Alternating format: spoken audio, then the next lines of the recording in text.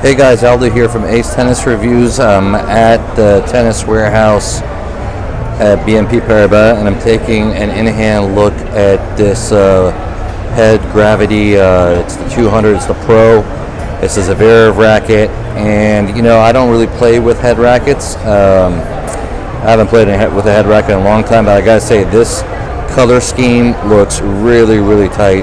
Um, it's got kind of, I don't know if you guys could see the camera or not, but it's got this kind of matte uh, color finish on it.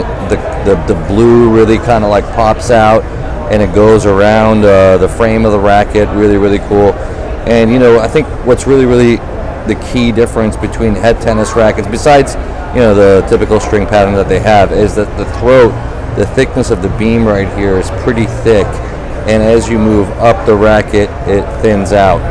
And so when you're holding this racket in your hand, you do feel a lot of stability and a lot of strength right here from the grip of the racket, going all the way through the throat of the racket until it hits, um, you know, uh, uh, the beam. So um, I think that's kind of a noticeable difference, especially if you go from this racket um, to the Prestige, and I'm going to walk over the Prestige right here You've got the Prestige right here, which has noticeably a thicker uh, beam.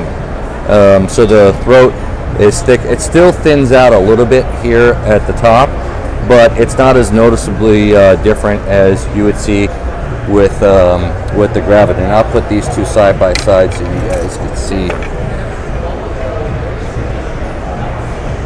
I'm trying to see if this is going to be able to show it through the camera, but yeah, maybe not noticeable uh, through the camera. I mean, but if it's in your hand, you can see that the length here is definitely a narrower uh, frame than right here.